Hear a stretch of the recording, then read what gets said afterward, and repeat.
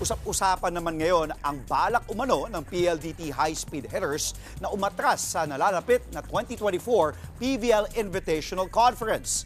Sa report ng Spin Philippines, binabalak ng kupunan na hindi na muna maglaro sa tournament na magsisimula na sa Miyerkules.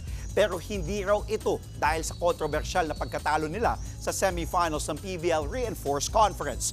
Ito umano ay dahil sa dami ng injury ng kanilang manlalaro. Ilan sa mga manlalaro nilang hindi 100% ay sina Savvy Davison at Kim Kiana D. Mga kapatid, Andre Felix po. Iba na ang may alam at may pakialam sa panahon ngayon. Para sa tuloy-tuloy na balitaan sa Frontline kahit weekend, mag-follow at subscribe sa social media pages ng News 5.